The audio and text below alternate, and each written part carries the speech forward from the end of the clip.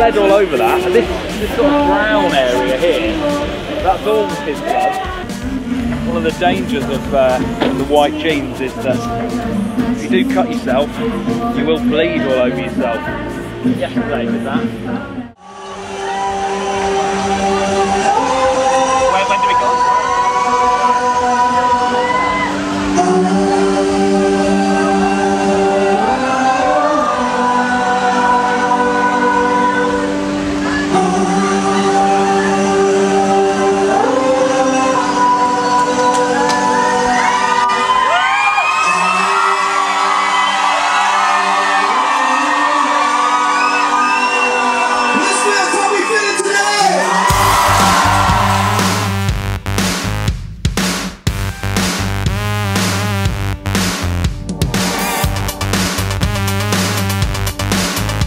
Yeah, it's been alright. Um, it's our second uh, festival of, uh, of the year, so just sort of excited to get out there and play and uh, see how it goes. It's uh, it's a nice little boutique one, so looking forward to it. Should be good.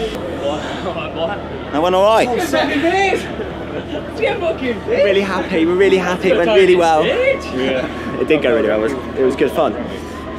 Although I've been stopping um, wearing a hat on. Uh, well, no, I've been meaning to wear a hat on stage because of this short head. I'm not quite confident with it yet, but it fell off halfway through, and I think people were saying off, off, off, and I'm guessing it was for this. So that kind of made me feel a little bit better about it. I still feel like a bit of a bold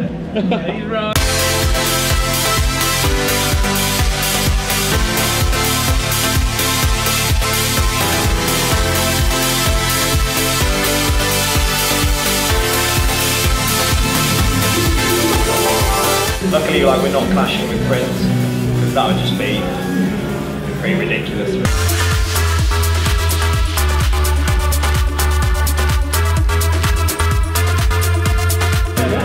We definitely need to commodore one of those buggies today. I think we can definitely do it as well.